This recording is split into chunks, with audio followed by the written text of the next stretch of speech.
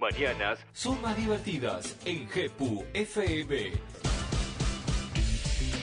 Noticias, reportajes, toda la música y lo que realmente tenés ganas de escuchar en el lugar indicado.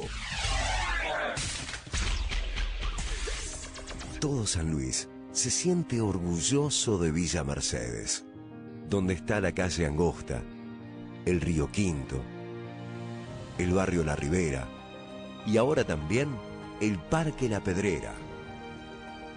No solo se puso en marcha una ciudad, sino toda una provincia. San Luis arranca. San Luis es la llave. Gobierno de San Luis.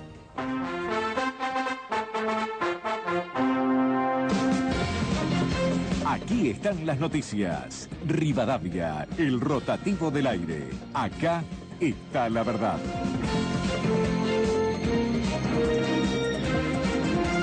Hora 10, 32 minutos, temperatura actual en la ciudad de Buenos Aires y alrededores, 14 grados, dos décimas, humedad 74%.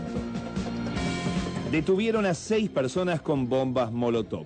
La ministra de Seguridad, Patricia Bullrich, informó sobre el suceso ocurrido a las 5 de la mañana de hoy, en que un grupo de personas llevaba en un auto los artefactos y presumen iban a Plaza de Mayo. En ese contexto, la ministra afirmó que los niveles de violencia son muy altos y se requiere generar una situación de descontrol en la calle por parte de grupos que están todos los días haciendo manifestaciones. Comparó también esta situación con la agresión sufrida por el exministro Axel Kisilov por parte de una persona que le había hecho inteligencia. Plan de obras públicas en Salta.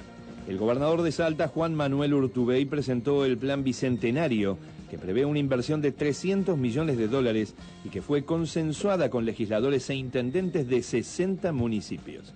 El mandatario presentó este plan en el centro de convenciones de la sede gubernamental. En su discurso, además, indicó que el objetivo principal no es solo equilibrar las cuentas fiscales, sino sostener y generar empleos a través de un plan de obras públicas y adquisición de maquinarias. Más casos de gripe A. Se elevó a cuatro el número de niños afectados por la gripe A en la comunidad de Gualeguaychú, Entre Ríos, donde la semana pasada murió un hombre de 39 años a causa de esta enfermedad. En tanto, en la localidad de Concordia se registró el primer caso de un niño de tres años, confirmaron voceros de la Secretaría de Salud. Voceros de la Dirección de Epidemiología de la provincia adelantaron que el Ministerio de Salud de la Nación ya comenzó a distribuir la segunda tanda de dosis de la vacuna antigripal, disponible de manera gratuita en hospitales y centros de salud para grupos de riesgo.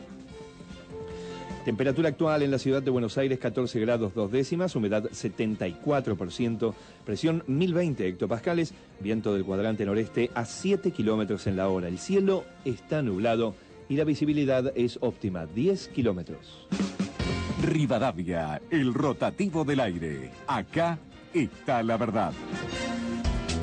Estamos en contacto. Estamos en red.